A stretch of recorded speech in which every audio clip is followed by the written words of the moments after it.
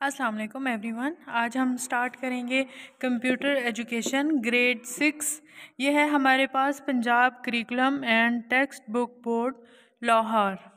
So आज हमने chapter number one start करना है कंप्यूटर साइंस का, जिसका नाम है इंट्रोडक्शन टू कंप्यूटर्स ये इसकी कुछ लर्निंग आउटकम्स हैं और आज हमने देखना है what is computer so we have question number one what is computer?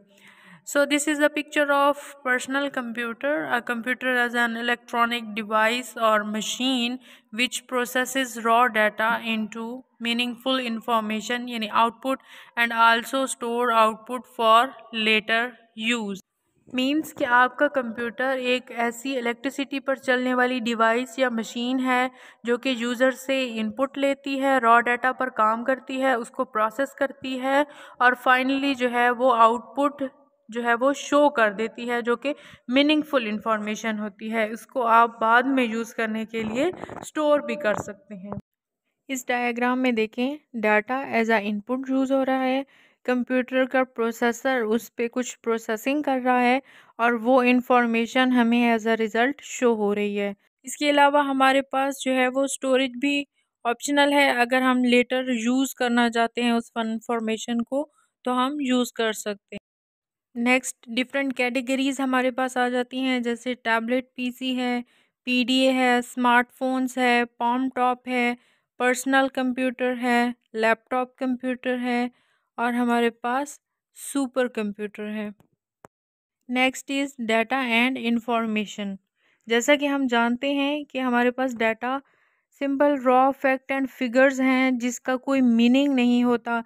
Image, number, text, video, audio, इस तरह की जो है वो हमारे पास डाटा हो सकता है, जिसका कोई मीनिंग नहीं है। और इन्फॉर्मेशन वो चीज़ है जो प्रोसेस डाटा है, यानी कि किसी भी डाटा को प्रोसेस करके उसको मीनिंगफुल बनाया जाता है तो उसको हम क्या कहते हैं? इंफॉर्मेशन। जैसे इस डायग्राम में डाटा एज जो है वो नंबर लिए गए हैं, किसी स्टूडेंट के कुछ मार्क्स हैं, सब्जेक्ट्स हैं, नंबर हैं, फिर उनको प्रॉपरली प्रोसेस किया गया है और उसके बाद जो है वो एक स्टूडेंट का ग्रेड सर्टिफिकेट बनाया गया है। एडवांटेजेस ऑफ़ यूजिंग कंप्यूटर्स, कि कंप्यूटर के ऐसे क्या फ़वाद हैं, कैसे, क्या ऐसे बेनिफिट्स और एडवांटेजेस हैं जिनको हम, जिनकी वजह से हम कंप्यूटर को यूज़ करते हैं। तो सबसे पहला जो है वो इसका एडवांटेज है, वो है स्पीड, ठीक है? सबसे इंपॉर्टेंट चीज़ कंप्यूटर की स्पीड है। Speed is an most important characteristics of computer. The computer can perform billions of calculation in a fraction of second ठीक है? कि एक सेकंड से भी कम टाइम में वो आपके बिलियंस ऑफ़ कैलकुलेशंस परफॉर्म कर सकता है। ये यहाँ पे एक क्वेश्चन दिया गया है, जिसको कोई भी नॉर्मल इंसान सॉल्व करने के लिए कुछ मिनट्स लाजमी लगाएगा, लेकिन कंप्यूटर इसको within a nanosecond solve कर लेगा। नेक्स्ट एडवांटेज है हमारे पास एक्यूरेसी। एक्यूरेसी मींस कि एरर फ्री रिज़ल्ट जनरेट करेगा। Computer is accurate and never makes mistake.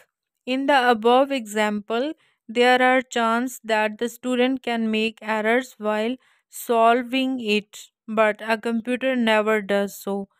हो सकता है, चांस है कि कोई भी स्टूडेंट इसको सॉल्व करे तो मिस्टेक्स करेगा, लेकिन जब आप कंप्यूटर से क्वेश्चन करवाओगे तो वो स्पीडी होने के साथ साथ एरर फ्री रिज़ल्ट जनरेट करेगा। कंप्यूटर सिर्फ़ उसी वक्त रॉन्ग रिज़ल्ट शो करेगा, जब आप उसको इंस्ट्रक्शंस गलत दोगे। Next advantage is diligence. Means कि अगर आप कंप्यूटर को कोई भी काम टाइम एंड अगेन देते हो कि वो उसको रिपीटेडली करे तो कंप्यूटर की ख़ासियत है कि कंप्यूटर जो है वो बोर नहीं होता, कभी थकता नहीं है। A computer never gets tired और bore next advantage of computer is storage computers have large storage capacity a computer can store very large amount of data a large building is required to store thousands of book लेकिन यही thousand of books अगर हमने computer में रखनी है तो easily इसकी memory में स्टोर की जा सकती हैं। Last advantage of computer is versatility versatility is the key benefit of using computer a user can perform variety of task like drawing pictures writing stories watching movies and playing games एक वक्त में आप computer पे बहुत सारे काम कर सकते हो वैरायटी ऑफ़ टास्क जो है वो आप यहाँ पे परफॉर्म कर सकते हैं।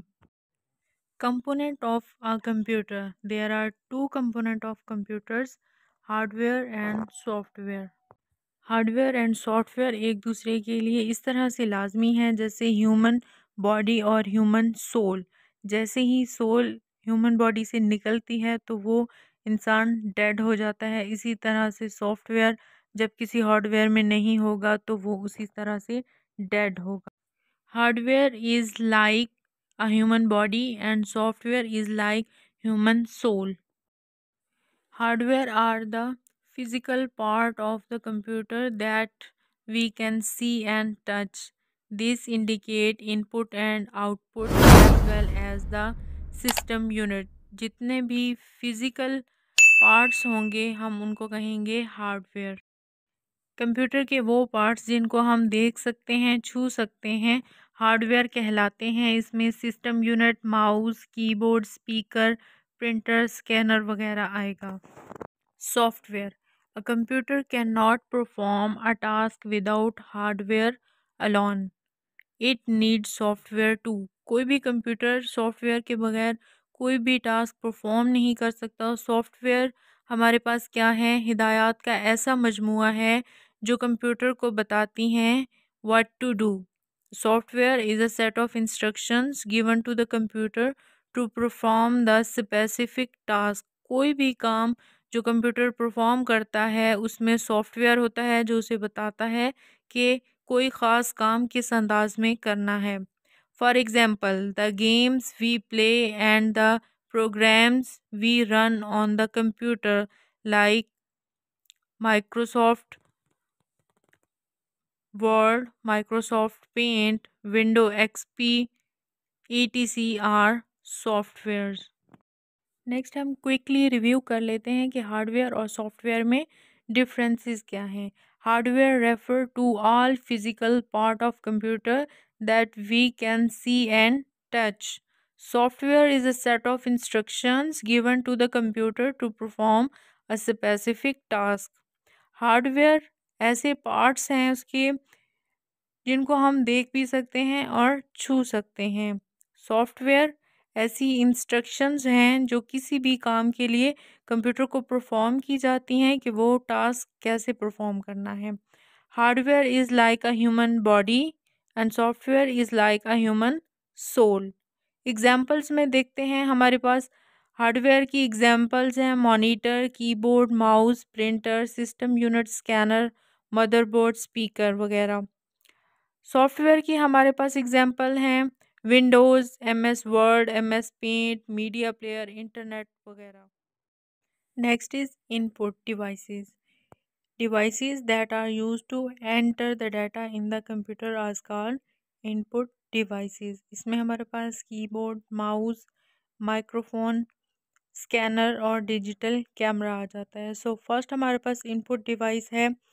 कीबोर्ड जिसको हम डिटेल में पढ़ने जा रहे हैं। So keyboard is the most commonly use input device it allow the user to type alphabets number symbols into the computer इसकी मदद से हम जो कॉमनली टेक्स्ट होता है, वो हम एंटर करेंगे, जिसमें नंबर्स होंगे अल्फ़ाबेट्स होंगे, कुछ सैम्बल्स वगैरह होंगे। It has small buttons called keys जिसके ऊपर बटन बने हुए हम उनको कहते हैं keys keys are laid out of QWERTY pattern Q W E R T Y इसको केवर्टी भी बोल सकते हैं। ये एक ऐसे पैटर्न में होता है कि जिसकी जो है स्टार्ट होता है Q W E R T Y से। At the top left of the keyboard A standard keyboard can be divided into following section. Function keys, alphanumeric keys, numeric keypad cursor control और navigation keys function keys keyboard के बिल्कुल top पे जो आपको keys नज़र आती हैं F one two three up to Son F twelve तक ये फ़ंक्शन कीज़ होती हैं और जो हम सॉफ्टवेयर यूज़ कर रहे हैं, उसकी बेस पे इनका पर्पज़ होता है। जैसे आप विंडोज़ में एफ़ वन की प्रेस करते हैं तो हेल्प स्क्रीन शो हो जाती है।